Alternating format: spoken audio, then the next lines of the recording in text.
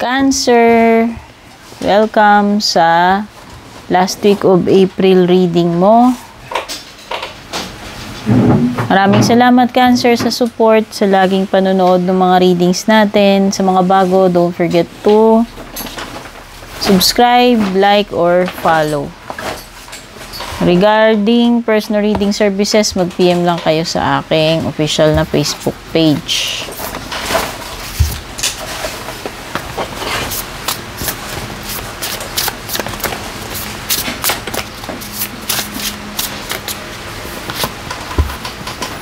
Wood Monkey, nakuha natin first energy mo. Sabi dito, choose your battles, Cancer. Maging wise ka. Hindi lahat ng laban papasukin mo. No? Maging ano ka, maging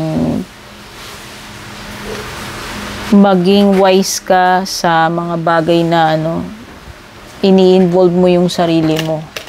No, hindi lahat hindi na hindi lahat kailangan ng ano mo ng energy mo ng attention mo or ng patol mo. So wag wag patola no? Tignan pa natin yung ibang message niyan. Gamit yung ano to yung message ng author about diyan number 21 yan eh. Para lang maintindihan ninyo guys yung kabuang istorya niyang wood monkey So, ang sinasabi dito with the mood monkey, wood fighting with metal, indicating conflicts. Ayan na nga, conflicts. Pwedeng may mga ano, trouble or conflict na iiwasan mo dapat. And discord. So, may mga ano, hindi pagkakaunawaan, away, pagtatalo, problema, trouble, no? Young wood in the heavenly frequency represents ano to? Vision. Vision compassion and leadership qualities. But it can also be uncompromising and unbending like a tree branch. The monkey a young metal sign symbolizes the warrior within you ready to fight in the battlefield no? So parang game na game yung energy mo pero yun nga yung yung yung caution sa iyo dito piliin mo yung mga bagay yung mga gulo or yung ay sorry piliin mo yung mga battle na papasukin mo no? Wag sabi ko nga wag kang patola wag patol ng patol. Okay The monkey symbolizes the warrior within you ready to fight in the battlefield. With hidden young earth and young water, the monkey can also be uncompromising and forceful while lacking direction. This card appears as a call to choose your battles carefully. Take the positive qualities of the elements and approach the forces opposing you with wood's compassion and metals intelligence. Study and observe before you fight back. so, mag-isip muna mabuti bago pumatol, bago pasukin yung mga bagay. Lalo na yung mga battle, mga gulo. Okay? Study and observe muna. Do your homework before you charge forward. O, bago ka bumanat, bago ka lumusob, mag-ano ka muna alamin mo muna yung mga facts, no? Part of the homework involves getting to know yourself by looking within. Only by knowing your strengths and weaknesses through self-work and self-reflection can you be in alignment with your visions and goals. The other part is knowing the subject of your battle. What are you fighting for? Ano nga ba? Ano ba yung pinaglalaban mo? Ano ba yung gulo na yan? Dapat mo bang pasukin yan? Ano magigain mo dyan? No? The more you know you, yourself and what you're battling, the more you can plan the most appropriate actions and steer the ship in the right direction. Okay. Itong card na to, ini-encourage ka niya na bago mo pasukin yung isang situation, eh, alamin mo muna yung facts, i-analyze mo muna mabuti, pag-aralan mo muna from a higher perspective. No? See more before you make the move. Okay. Isip-isip, yun yung ibig sabihin, bago ano, bago kumilos, bago gumawa ng action about something or about a situation.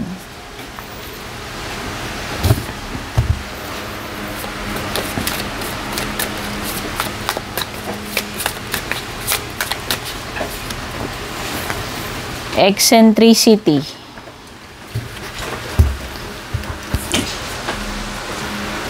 Okay, itong eccentricity card mo, Cancer, means na pwedeng ikaw, you are going the other way or opposite direction, no? Kumbaga taliwas ka doon sa nakararami. Unique. So, para doon sa iba, di ba ganun yun? Parang minsan kapag ka napansin nila nakakaiba yung yung path na tinatahak mo, kakaiba ka, kakaiba yung ginagawa mo, iba yung ano eh. Ewan ko, may ano ba tawag doon? May, ma, ma, pwedeng ma, ano kanila, madi-discriminate or ma-judge kanila. For, kung kumbaga, for going against the current, iba. No? Kumbaga, you, uh, you choose to be different kaysa doon sa typical Kumbaga, kung yung mga tao, yung normal sa kanila, dun sila lahat, no? Tapos ikaw dito ka lang, mag-isa ka lang dito, no? No, you are unique. Okay? Sinasabi dito, you are going against expected behavior. Huwag mo na lang intindihin yung sinasabi ng mga tao. Yun yung sinasabi nitong card mo. Okay? Ikaw ay ano eh, kumbaga ikaw ay merong special or or unique na path kumpara sa kanila. Kumbaga, kung, kung iba yung way of thinking nila, hindi mo kailangan pilitin yung sarili mo na ano, makiflock doon sa hindi mo naman kapareho. 'di ba? Pwedeng, pwedeng kakaiba ka lang, kaya siguro parang kakaiba din yung trato nila sa'yo. Alam mo na may mga tao, di ba, judgmental. Basta sinasabi dito, kung kakaiba man itong way of thinking mo, yung mga diskarte mo, yung path mo compared sa iba, no? Forget what others think. Importante dito ikaw. No? Hindi mo si, kumbaga ano, ignore mo na lang yung mga sasabihin nila. Ano man yung mga una nila sa'yo. Kasi pwedeng hindi naman talaga nila naiintindihan. Eh, ano naman ang alam nila doon sa... Kung tutusin, wala rin naman silang pake, di ba? Huwag mo naiintindihin yun kasi wala rin namang kwenta yung mga sasabihin nila sa'yo for sure. No?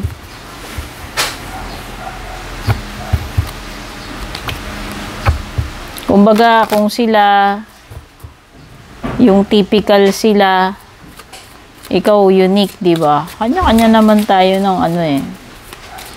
Kanya-kanya naman talaga tayo ng pat, hindi pare-pareho. So, kung ano man yung mga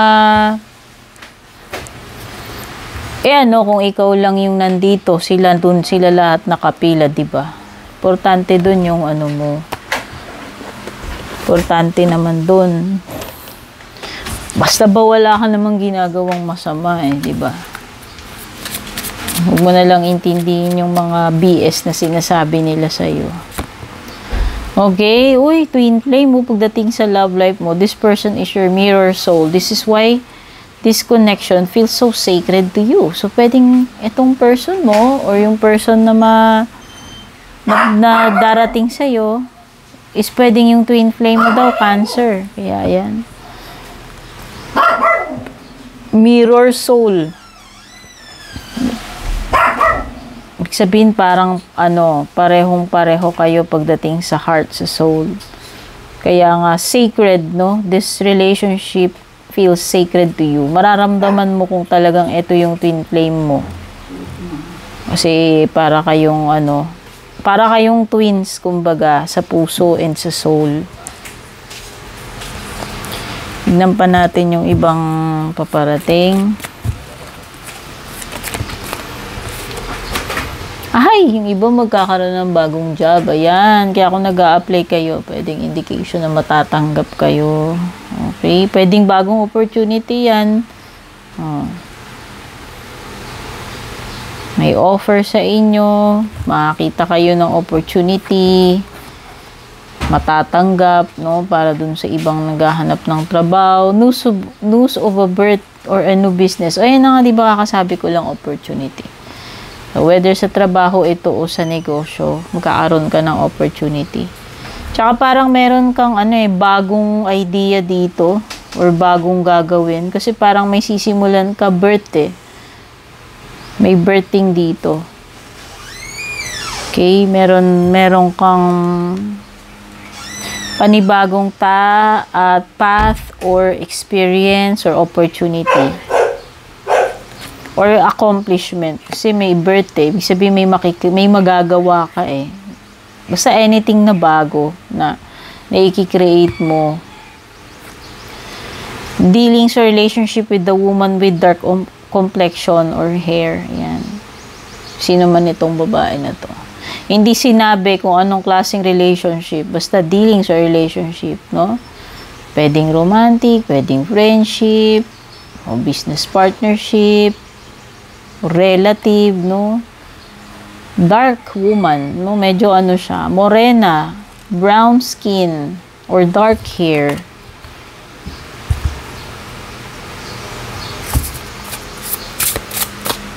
Ay, sorry guys, nung nakaharang yung cards.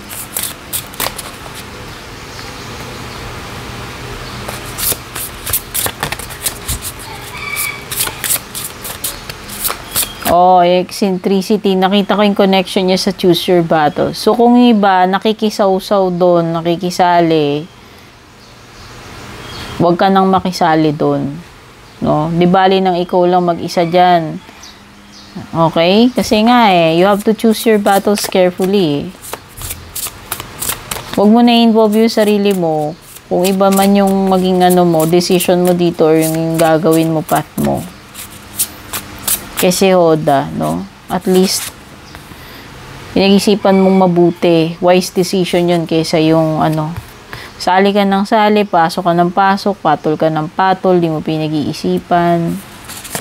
Tingin ko dito kasi baka ikaw lang yung, ano eh, ikaw lang yung tataliwas doon sa nakararami. Yun yung parang sinasabi sa eccentricity mo. Okay, may Aquarius energy, Capricorn energy and Taurus energy. Meron kang Aquarius, Capricorn, and Taurus energy dito. Okay, so maliwanag dito sa judgment card mo. May mga may mga may mga ano ka dito. choices or actions na kailangan gawin para baguhin mo yung ewan ko, baguhin mo itong current situation mo. Siguro may mga realizations ka, alin yung nagwo-work sa hindi nagwo-work, no? Kumbaga, ini-evaluate mo yung buhay mo or ini-evaluate mo yung sitwasyon mo ngayon dito based dito sa judgment card. And, uh, yun na nga, pwedeng may mga decisions, choices, or actions, no? Kumbaga, nakita mo na eh, ano yung epekto ng mga choices mo before, ano yung nag-work, alin yung hindi, yung nakabuti sa'yo. So, parang, kumbaga napag-aralan mo na, nakita mo na yung pattern, no? Kung ano man yung mga dapat mong ayusin, baguhin ngayon dito sa current situation mo. Kumbaga, natuto ka na dun sa past, no? May, may mga lessons learned, may realizations ka doon. At mas clear na ngayon yung isip mo, no? Parang nagkaroon ka ng understanding or awakening dito with the judgment card. O regarding ano man yan, o in general sa buhay mo, or regarding your love life, or regarding your finances or career, no? Pwedeng yan yung mga tinutukoy dyan. Ayan, no? Kumbaga, you have learned your lesson. Ito na yung devil card. Alam mo na eh. Alam mo na ngayon eh Kumbaga, you know better ano yung nakabuti sa'yo sa hindi. Ano yung dapat, yung mga dapat mong baguhin? Ano yung mga dapat mong i- i-let go? Kumbaga, alam mo kung ano yung toxic sa'yo. Relationship man yan. Tao, habits, no? Or yung mga mindset, depende. Basta ang ano dito is na-awaken ka and makakaalis ka na sa ganyang toxic situation. Walam, kumbaga yung mga dapat mong baguhin, tanggalin sa buhay mo, ito na yun eh. Combination ng judgment and devil eh. Sabi ko nga eh, kung, kung saan nag apply yan, in general yan. No? O pwedeng iba sa relationship. No? Hierophant. O, ayan na nga, lessons learned, no? So, mas nag-mature ka na. Mas nag-mature ka na dito. Sa career, sa business, sa relationship.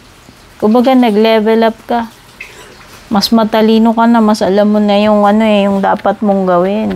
Kaya nga siguro hindi ka na patol ng patol do no, sa choose your battles, no. Mas pinipili mo kung ano yung path na sa tingin mo tama kahit na ikaw lang ang nandoon kahit karamihan no kahit ikaw lang mag-isa ron yun yung nakikita ko dito tingnan pa natin yung yung closing message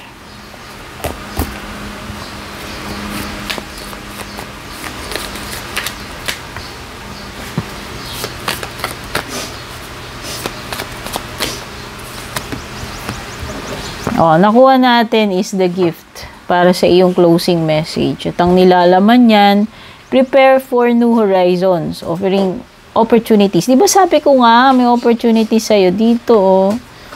Di ba, ang ganda. Hmm. Eto, dalawang card yan nagsasabi ng opportunity sa'yo. Nakikita ko nga dito, makakapagsimula ka rito. Ito rin, dalawa yung card ng beginning dyan. O, new career or job eh. Oh, prepare for new horizons. May mga bagong kang experience dito. Bagong pakikipagsapalaran, opportunity. Step out of your comfort zone. Oh, maging malakas yung loob mo to try. No, you will be helped along your travels the pull to make changes o the changes yung mga binabanggit ko dito sa dalawang cards kanina hmm. changes dito sa judgment card at saka dito so magkakasink yung mga baraha mo eh, yung opportunities yung changes yung mga realizations no pagiging wise hmm. The pull to make changes in your own choices is strong. Di ba binanggit ko yung choices dito? Actually, devil card and judgment card, parehong choices yan. Ito rin eh. Choosing your battles eh. Oh, kumbaga, pa, pagpili ng path, ano yung path na dapat mong pagtuunan ng energy mo sa hindi. No? Choices, importante strong, oh, yung pull to make changes daw, yung urge, yung pull, yung determinasyon mo na gumawa ng mga pagbabago at choices sa ngayon is very strong and you will have support from your family and friends every step. Huwag kang matakot. Kaya nga sabi dito, step out of your comfort zone. Suportado ka. Suportado ka ng loved ones, ng pamilya mo. Okay? Kaya kung, kung ano yung iniisip mo na nararapat mong gawin to improve your situation, gawin mo. Sabi ko nga eh, kahit na mag-isa ka lang sapat na yan eh, kahit hindi yung mga karamihan ng peers mo eh, nandyan. So what, ba? Diba? Okay? New energy will help you on the way. Affirmation, leaving my comfort zone leaves me a sense of adventure. So yan, may mga new experiences and adventure mga bagong matututunan, opportunity to grow, maging successful. Okay, Cancer, take care. God bless.